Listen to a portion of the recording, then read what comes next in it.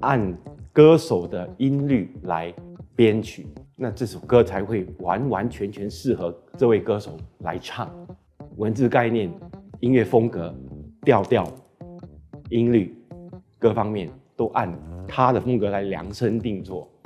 制作人的工作还没进录音室的时候就要做这些。那歌词收回来了，看一下哪里 OK，哪里不 OK，要跟唱片公司一起讨论。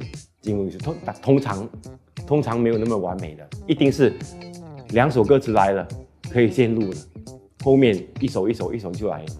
或者有一些歌写歌词的老师是这个歌词丢给他，一个月之后人不见了。